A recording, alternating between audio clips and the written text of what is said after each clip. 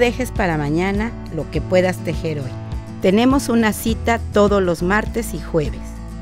Suscríbete a mi canal.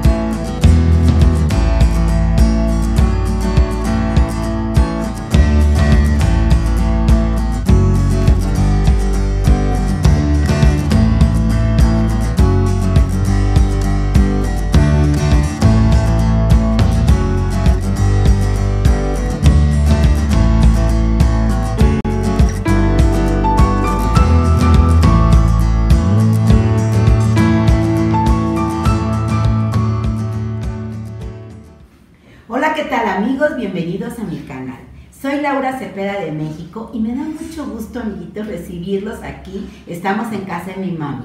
Fíjense que hoy es un día especial. ¿Qué creen? Que les voy a enseñar a tejer esto tan hermoso. Vean, es un mantel, es el mantel de la abuela. ¿Cómo ven? Fíjense que mi abuelita tejía mucho. Mi abuelita ya murió hace muchos años, pero ella tejía mucho y a cada una de sus hijas le tejió un mantel.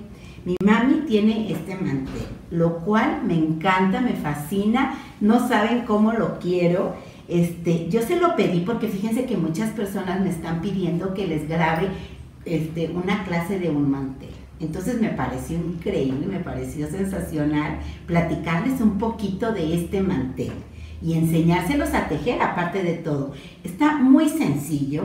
Aquí el valor de este mantel es un valor estimativo, no es un valor económico, es un valor estimativo. Si ustedes tienen uno en su casa, por favor consérvenlo, hermosas. Mucha gente me dice que ya no se usa, pero ¿cómo no se va a usar, hermosas? Miren, si tienen una cena especial en Navidad, por ejemplo, donde nos juntamos toda la familia, pueden poner su mantel poner su mantel. Mucha gente me dice, es que se puede ensuciar, es que se puede manchar. No importa, mis reinas, ahora hay tantos líquidos, tantos productos los cuales podemos usar para limpiar nuestro mantel. Entonces ustedes úsenlo, disfrútenlo, no lo tengan guardado. Acuérdense que hay que usar todas las cosas y no hay que tenerlas guardadas, disfrútenlas. Yo, por ejemplo, lo usaría en una cena, por ejemplo, si vienen a pedir la mano de mi hija o, si es la graduación de ella, invitamos a unos amigos, a sus amigos, a sus maestros o sinodales de su examen profesional. Podemos usar algo así. O para, no sé, una ocasión especial. Siempre es importante tenerlos listos, limpiecitos, para que cuando se ofrezca ustedes los usen. Úsenlos, mi reina, no los tengan guardados. Es algo muy, muy valioso. Es el valor más estimado que yo tengo de mi abuelita. Esto me lo recuerda y gracias abuelita porque tú nos inculcaste este cariño al tejido. El otro día me preguntaba una señora que tenía un mantel de estos, que en cuánto lo podía vender. Imagínense, hermosas, ¿en cuánto pueden vender este mantel? Yo le dije, señora, no lo venda, por favor, no lo venda, se va a arrepentir. Esto debe de pasar de generación en generación, debe de ser una herencia, hermosas no, ven, no los vendan. Pero en caso que ustedes tengan un problema económico y que necesiten vender su mantel o una colcha, lo que ustedes tengan, pues sí tienen que saber a quién vendérselos y que ella sepa de lo que cuesta este mantel, ¿sí? A lo mejor no cuesta mucho el material con el que está hecho, pero sí cuesta mucho todas las horas y todo el tiempo que se pasó esta gente tejiendo este hermoso mantel.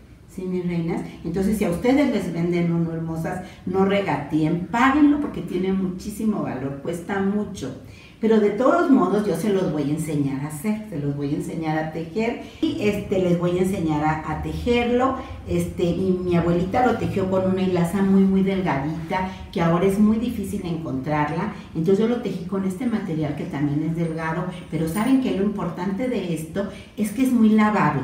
Entonces lo van a poder lavar lo van a poder también tejer al tamaño de su mesa. Yo me vine acá a la mesa de mi mami porque es muy diferente a la que yo tengo. Fíjense, es más grande, el estilo es de madera, mi mesa es diferente. Pero si ustedes tienen una mesa más chica como la que tengo allá en mi casa, pues déjanlo al tamaño de, su mesa, ¿sí, mis reinas? Ahorita les voy a enseñar el material con el que yo trabajé y con el que yo tejí este, este hermoso mantel para ustedes. Bueno, yo hice un pedazo muy pequeñito porque para mí es imposible tejer esto tan grande. Hice un pequeño, tejido, ahorita se los voy a mostrar y yo con esas rueditas vamos a calcular cuántas rueditas nos salen de una bolita de 100 gramos, de un ovillo de 100 gramos y ya con eso vamos a sacar el tamaño. ¿Qué les parece, hermosas?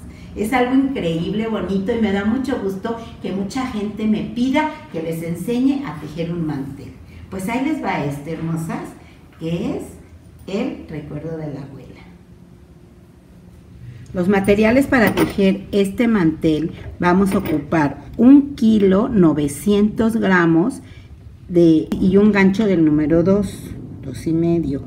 Y acuérdense, de 100 gramos nos van a salir 35 rueditas. Entonces ustedes tienen que calcular si lo van a hacer más chico, cuánto es el material que se van a llevar. Pero para un mantel que mide 1,40 de ancho por 2,70 de largo, le sale con un kilo 900 gramos. ¿sí? Ahorita les voy a poner los teléfonos y las direcciones de las tiendas online, por, para si quieren hacer sus pedidos, se los llevamos hasta la puerta de su casa. Continuamos.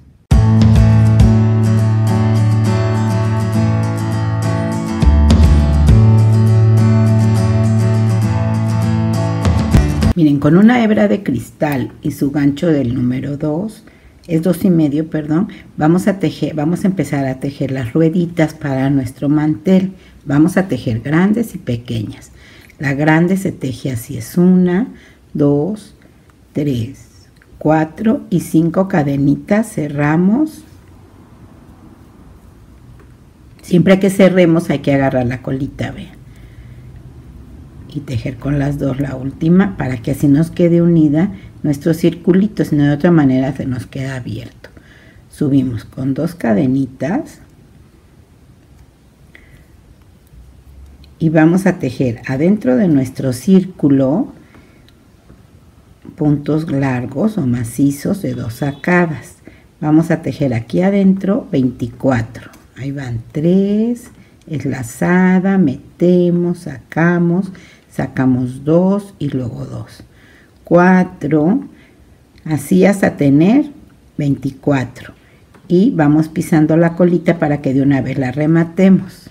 Al terminar tus 24 macizos, vamos a cerrar con un punto deslizado, aquí en donde iniciamos nuestra vuelta.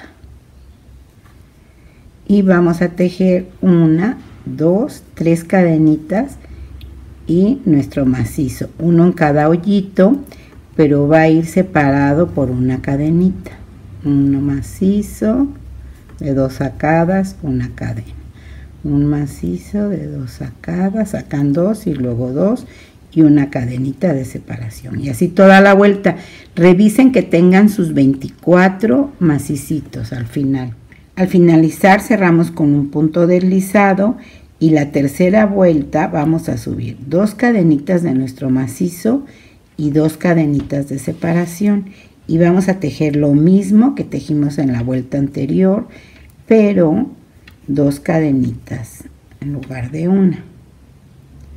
Yo antes de empezar esta vuelta ya conté cuántos macicitos tenía y si tenía mis 24 entonces seguimos así toda la vuelta al terminar su vuelta revisamos que sean 24 macizos cerramos con un punto deslizado. Acuérdense siempre de poner sus dos cadenitas antes de cerrar. Y ahora vamos a hacer la cuarta vuelta. Es un deslizado. Tejemos tres cadenitas y en el siguiente espacio vamos a tejer un macizo de dos sacadas acuérdense dos cadenitas otro macizo en el mismo punto para formar una V tres cadenitas y prendemos con medio punto punto bajo así. Volvemos a tejer lo mismo tres cadenas en el siguiente espacio nuestro macizo de dos sacadas dos cadenitas otro macizo tres cadenitas y medio punto y así nos vamos a ir toda la vuelta y esta es la última vuelta de nuestra ruedita. Al terminar nuestra ruedita, que es de una, dos, tres, cuatro vueltas, cortamos y empezamos a tejer otra igual. Nada más que en la última vuelta de su otra ruedita les voy a decir cómo las vamos a ir uniendo. Entonces me tejen la primera, la segunda, la tercera y ya que les falten así unas cuatro para terminar, ahí nos vemos para que les diga yo cómo la vamos a unir a esta. Miren, ya tengo mi otra ruedita, ya hice las tres cadenitas, mi primer macizo y aquí en medio de la V lleva dos cadenitas, nada más vamos a tejer una y vamos a unir aquí en cualquiera de nuestras V de la otra ruedita vamos a poner nuestro gancho arriba jalamos la hebrita por abajo tejemos la otra cadenita que nos falta completamos nuestra V luego tres cadenitas prendemos y ya unimos nuestra primera V ¿ya vieron? Ahora vamos a unir la otra. Tenemos que unir dos. Una, dos, tres cadenitas. Hacemos un macizo de la V, una cadenita, como quien dice la mitad. Metemos así siempre nuestro gancho arriba y nuestra hebrita debe de estar abajo. Jalamos la cadenita que nos falta nuestro macizo que nos falta para formar la V, tres cadenitas y prendemos. Y ya nos seguimos tejiendo a terminar nuestra ruedita y ya están unidas, ¿ven? ¿Sí? Ahorita ya la termino y remato. Ahora, tenemos que tejer otra que vaya unida acá y otra que vaya unida acá. Miren, para unir la, otra ruedita vamos a dejar una en espera y vamos a unir las dos que siguen. Y la otra que vamos a unir, vamos a dejar esta, esta y esta y la vamos a unir acá y acá. Entonces tenemos que tener lista nuestra ruedita sin terminar toda la última vuelta porque tenemos que unir de este lado y de este lado. Miren, más o menos como la mitad sin tejer para que unamos, aquí dejamos una entonces unimos esta y esta. Entonces esta la voy a unir acá y la otra que sigue acá. A ver, miren, quiero que vean. Ya uní estas dos, estas dos. Ahorita tejí una, que es la que me tiene que quedar libre aquí. Y también aquí nos tiene que quedar una libre. Entonces ahorita la que voy a hacer la voy a unir aquí. Tengan mucho cuidado de dejar, de dejar sus cuatro este, V's libres porque en medio le vamos a tejer una ruedita que ahorita les voy a enseñar cómo. Entonces dejo esta libre y empiezo a unir acá. Si ustedes quieren pueden hacer todas sus rueditas grandes y ya al final hacen sus rueditas pequeñas para el centro o pueden ir haciendo las dos cosas juntas. También lo que yo les sugiero es que vayan, cada vez que tejan, rematen, cada vez que tejan, rematen, porque si no al final da muchísima flojera rematar tanto hilo y como que no vamos viendo bonito nuestro trabajo. Entonces así vamos rematando y vamos disfrutando de cómo nos va quedando nuestro tejido. Eso lo pueden tejer con nuestro hilo cristal o también con el bajar de Alice, la hilaza bajar, queda muy muy bonita, nada más que les rinde un poquito menos porque es más pesada y le queda la ruedita más grande porque es un poquito más gruesa, pero vale la pena porque 100% algodón es mercerizado y queda un, este, un tejido más fino pero también con cristal queda precioso, ¿sí? Entonces vamos a ir uniendo así nuestras rueditas y ahorita les voy a enseñar la de en medio. Ustedes tienen que calcular en su mesa, por ejemplo, hagan, por ejemplo, unas cinco rueditas así y ya calculan en su mesa cuántas rueditas de cinco de lo ancho y cuántas de largo para que ya tengan previsto ustedes cuánto estambre se van a llevar. Más o menos les voy a decir cuántas rueditas salen de 100 gramos de cristal. Miren, este es el centro del que yo les platicaba, que es la que, el que va a unir cuatro rueditas. Por eso dejamos en cada ruedita una V este, libre, como acá. Entonces vamos a tejer de esta forma. Fíjense que debe de quedar la ruedita más grande que esta. Esta es más chiquita. ¿Por qué? Porque debe de unir las cuatro este, Si le ponemos más chiquito, entonces nos va a quedar fruncido. Entonces tiene que ser de tal manera que quede bien, que quede estiradita, que quede bien y que no se frunza y que se formen estas figuras. ¿sí? Entonces vamos a iniciar tejiendo así nuestro centro. Vamos a tejer 10 cadenitas, que son lo doble de lo que empezamos. 2, 3, 4, 5, 6, 7, 8, 9 y 10 cadenitas. Unimos. Ya saben, tejemos la colita.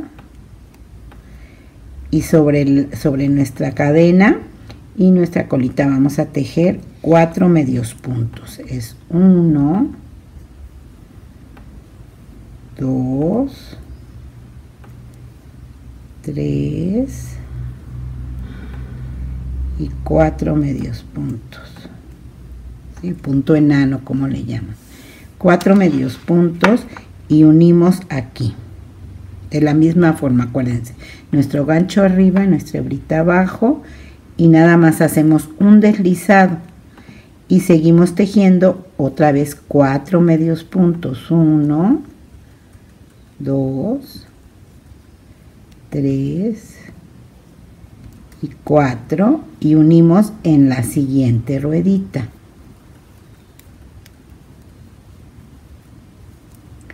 Otra vez 4, 1, 2, 3, 4. Vamos arrimando porque nos tienen que caber cuatro veces y unimos en la siguiente ruedita ya tenemos tres unidas. Acuérdense que ahí no hacemos medio punto nada más es el deslizado y luego luego nos pasamos a tejer lo que sigue nuestros cuatro medios puntos tres y cuatro. Y aquí unimos con nuestra última ruedita. Y con esta acabamos nuestra vuelta. Entonces agarramos nuestro primer punto y tejemos un deslizado. Y ahí acabamos nuestra ruedita, ¿ve? ¿Sí? Debe de, debe de quedar bien, no debe de quedar ni este, apretada ni tampoco floja. Deben de tener un término medio. Entonces aquí ya cortamos y acuérdense de ir rematando nuestras hebras siempre este para que vayamos teniendo nuestro tejido bonito está tan bonita la puntada que la pueden ocupar para una sobrecama para un mantel para unas carpetas ¿verdad? Para una carpetita, para una charolita que luego presenta, que llega alguna visita o algo y queremos este darles unas galletitas, un té, un café, esto lo pueden poner sobre su charola háganlo al tamaño de su charola y arriba y les va a quedar muy muy bonito. Aparte que este estambre es muy lavable, hermosas. No se preocupe si se les mancha su mantel, si se les mancha su carpetita. Es muy muy lavable y todas las manchas se les, se les quita. ¿sí? Bueno, pues entonces vamos a medir con esta muestra. Vamos a medir cuántas rueditas de ancho, cuántas de largo. Pues qué tal hermosas, qué tal les pareció la clase, ¿verdad que está muy sencilla, está muy bonita, les va a quedar increíble. Oigan, miren, tenemos esta, yo hice esta muestra, ustedes quieran mi reina, ¿sí? Casi por lo regular estos manteles son en color blanco o perlita, ¿sí? Yo les aconsejo que ocupen ese. Fíjense que yo tejí esto y pesé mis rueditas, tejí seis y pesé mis rueditas y más o menos calculé cuántas rueditas me salen de 100 gramos más o menos me salen unas 35 rueditas con los centros, ¿sí? Entonces ya ustedes para que calculen, hagan una muestrecita así y entonces ya calculan cuántas este, necesitan de ancho y cuántas de largo. ¿Qué les parece? ¿Verdad que está increíble? Oigan, fíjense que mi abuelita se llamaba Rosario y el otro día vino mi nieto y le preguntó a mi mamá, ¿cómo se llama tu mamá? Y le dijo, Rosario. Dice, ah, entonces es chico. Y le dice, mamá, no, es una niña. Dice, entonces sería Rosaria. ¿Cómo ven? Me acuerdo muchísimo.